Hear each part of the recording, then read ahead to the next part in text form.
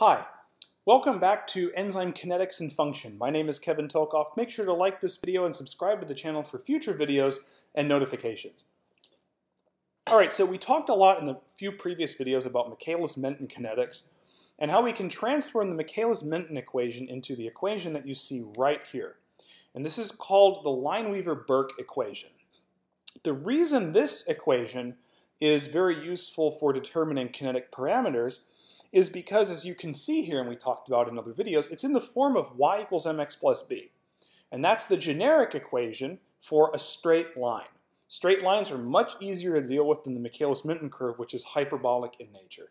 We would much prefer to force something into a y equals mx plus b if possible. Okay?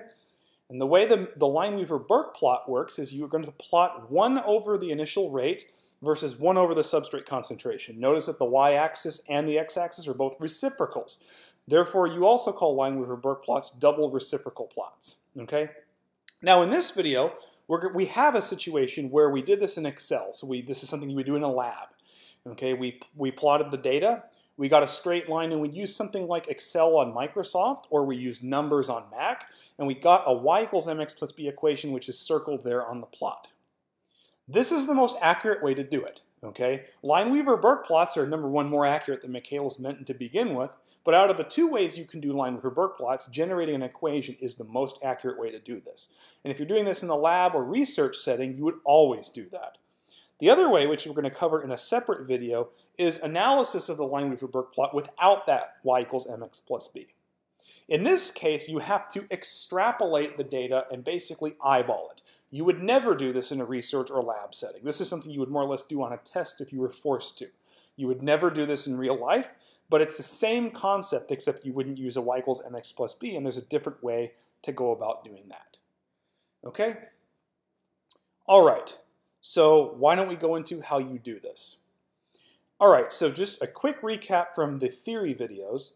1 over v naught is the y. The slope of the line m is the km divided by the vmax. x is 1 over the substrate concentration, and the y-intercept b is 1 over the vmax. Now, the first thing I would go about doing is determining what kinetic parameters you might want. All right, let's figure out what kinetic parameters we might want, and there's always four. The kinetic parameters are Vmax, Michaelis constant Km, rate constant k cat, and the catalytic efficiency epsilon sub c.